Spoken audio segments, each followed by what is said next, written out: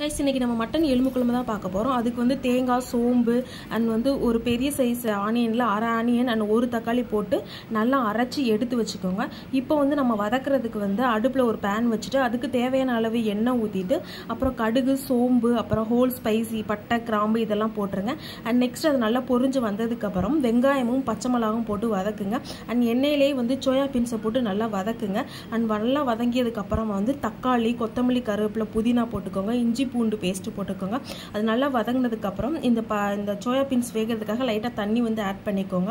And உருளைக்கிழங்கு நான் உரிச்சு வச்சுருக்கேன். அண்ட் இந்த சைடு மட்டன் வேகிறதுக்கு வந்து சீரகம் வெங்காயம் பச்சை மிளகாய் இஞ்சி பூண்டு பேஸ்ட்டு போட்டு குக்கரில் விசில் விட்டுருங்க. அண்ட் இந்த சைடு நல்லா பயிர் வெந்ததுக்கப்புறம் நம்ம வந்து குழம்புல மட்டன் மசாலா ஆட் பண்ணிக்கலாம். நான் உருளைக்கிழங்கு எல்லாமே போட்டுட்டு நல்லா விசில் வந்ததுக்கப்புறம் அந்த எலும்பு எடுத்து உள்ளே ஆட் பண்ணிக்கணும் ஆனால் அதோட உப்பு காரம் எல்லாம் போட்டுட்டு மல்லி இலையை வந்து தூவி இறக்கணும் அண்ட் இதோட ஃபுல் வீடியோ விங்க் வந்து கீழே நான் டிஸ்கிரிப்ஷனில் தரேன். பார்த்துக்கோங்க. பண்ணிக்கோங்க பாய்